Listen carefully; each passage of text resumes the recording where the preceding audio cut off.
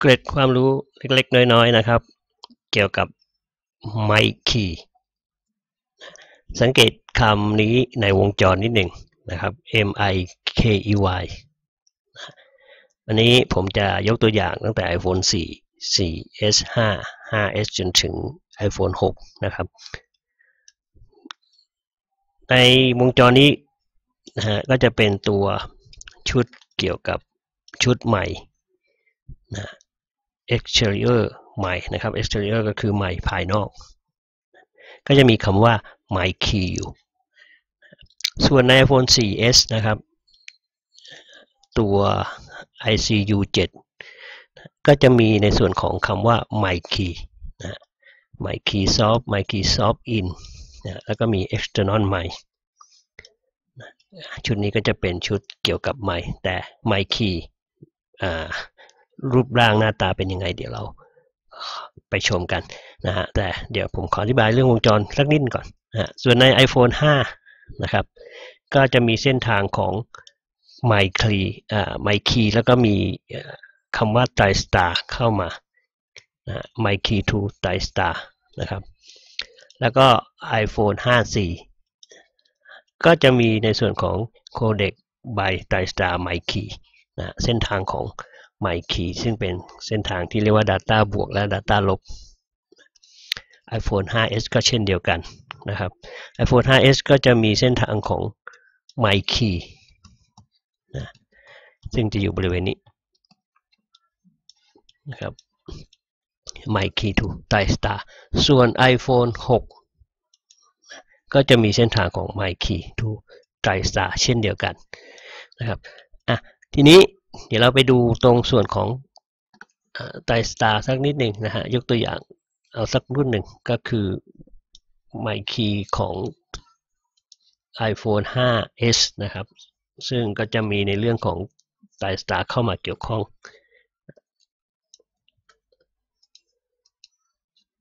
เส้นนี้นะครับ ตอนนี้เส้นทางนี้จะวิ่งจาก ชุด Audio หรือว่า IC เสียงมาที่ตัว d i s t a นะครับ Audio ก็คือตัว IC รหัส U21 นะก็จะวิ่งเข้ามาที่ตัว d i s t a U2 และในเส้นทางของ d i s t a ก็จะมีเส้นทางที่เรา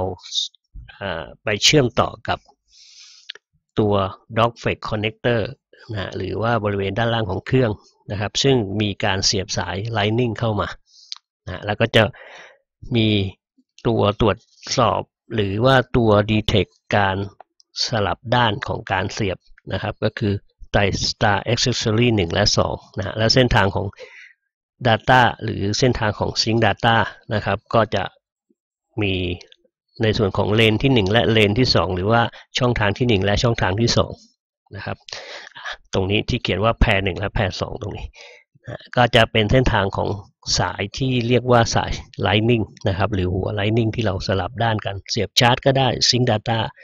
ที่กลับด้านกันได้นะทีนี้นะครับ เรามาดูตัวไมค์คีจริง ๆ หน้าตาเป็นยังไง ดูในรุ่นก่อน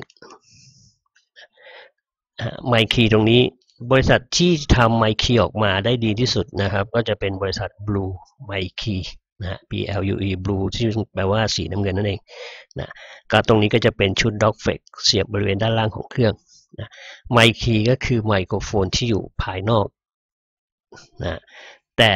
ในความเป็นจริงมันไม่ใช่เพียงแค่เป็นไมโครโฟนอย่างเดียวนะครับ มันยังมีช่องทางของการเสียบอุปกรณ์เสริมอื่นๆนะตรงบริเวณด้านหัวของตัวชุดใหม่นี้อีกนะสำหรับในรุ่นใหม่ นะที่เป็นสาย Lightning แล้วนะครับไมค์คีก็จะเป็นลักษณะแบบนี้ก็จะมีหัว Lightning นะครับ เสียบสลับถ้าเป็นหัว Lightning แบบนี้สลับกันได้นะแต่ถ้าเป็นอย่างนี้เนี่ย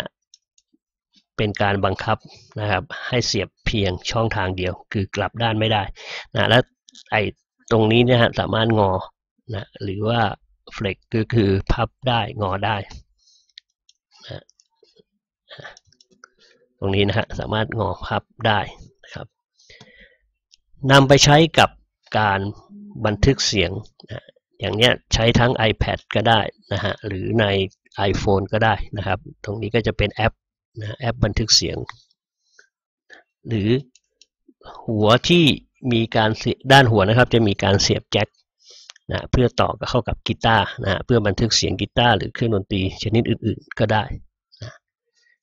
เดี๋ยวเราไปชมคลิปวิดีโอกันสักนิดหนึ่งนะครับ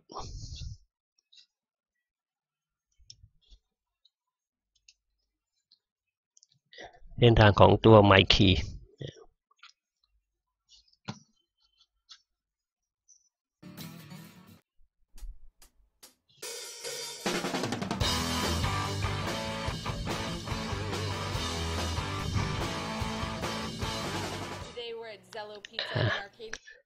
หรือเสียงกีตาร์อะคูสติกกีตาร์นะครับ ที่เป็นกีตาร์โปร่งนะฮะแต่ก็ปัจจุบันกีตาร์โปร่งก็จะมี contact แล้วก็มีมิกเซอร์สำหรับต่อเข้ากับตัวแหล่งสัญญาณเสียง Input นะครับ ก็คือตรงหัวของ MIKEY นั่นเองนะฮะตรงนี้ก็จะมีช่องเสียบแจ็คสำหรับเชื่อมต่อกับเครื่องดนตรีนะฮะ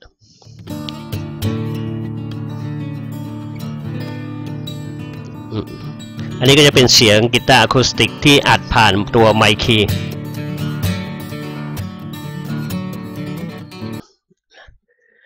หรือนะครับ ก็อันนี้เป็นคลิปวิดีโอแนะนำตัวไมค์คีนะ with the lightning connector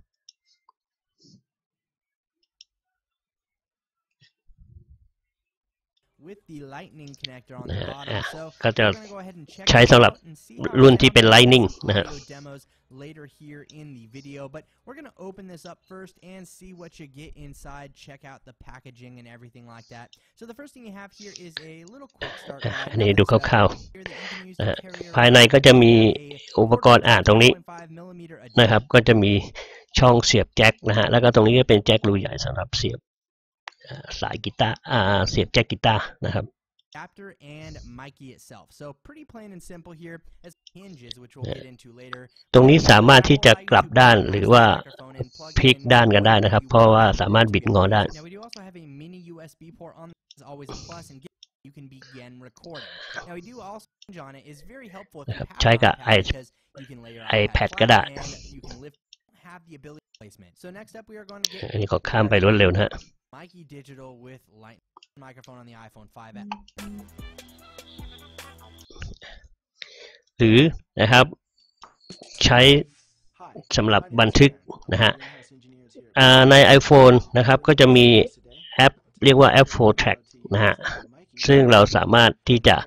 โหลดแอปนี้ลงไปนะฮะนั่นหมายถึงว่าแท็กนี้ก็คือ 4 ช่องทางของชุดเสียงนะครับ เช่นช่องทางแรกเป็นเสียงกีตาร์ นะฮะแท็กหนึ่งช่องทางที่2เป็นtrack ของ percussion หรือเครื่องเคาะนะฮะหรือเครื่องกำหนดจังหวะต่างๆนะครับหรือ percussion อ่า track ที่ 3 ก็จะเป็นเครื่องดนตรีอื่นๆนะอะเราสามารถทดสอบในการบันทึกเสียงตรงนี้นะแต่ตรงนี้เป็นการบันทึกเสียงผ่านตัว MIKEY นะอันนี้เป็นการบันทึก track ที่2นะครับ อันนี้เป็นการบันทึกแท็กที่3อ่าอันนี้เมื่อสักครู่นี้เป็นการบันทึกผ่านเบสนะครับ แล้วก็แท็กสุดท้ายก็จะเป็นพวก percussion ต่างๆ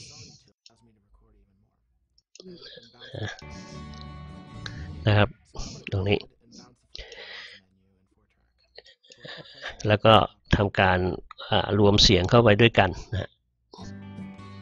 ก็เท่ากับว่ามี 4 แท็กนะครับ อยู่ในชุดเดียวกันอะนั่นแท็กนี้นะเป็นแท็กของ percussion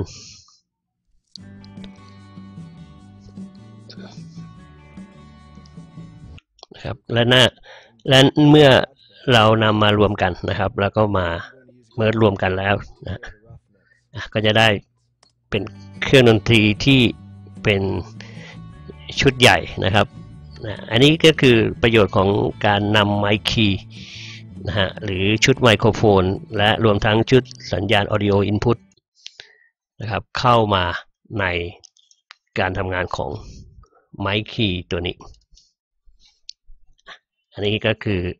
เป็นเราเรียกอีกชื่อนะครับว่าเป็นแกดเกตก็ได้นะครับ หรืออุปกรณ์เสริมจุกจิกที่สำหรับนำไปใช้ประโยชน์ ให้มากขึ้นในเครื่อง iPhone หรือ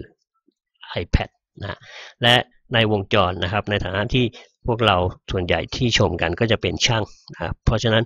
ถ้าหากเรารู้จักเส้นทางนี้นะที่มีคำว่า Mic Key อยู่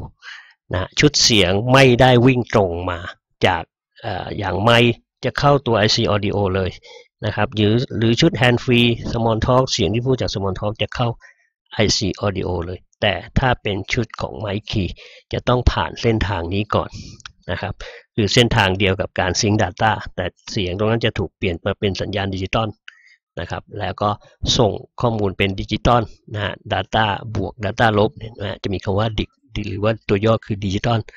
วิ่งเข้าไปในตัว IC Audio นั่นเองนะครับไม่ว่าจะเป็น iPhone 6 5 4นะฮะตัว Mic Key ก็มีมาตั้งแต่ iPhone รุ่นแรกๆแล้วนะครับอะอันนี้ก็จะเป็นเกร็ดความรู้เล็กๆ น้อยๆนะครับสำหรับเรื่องของไมค์คี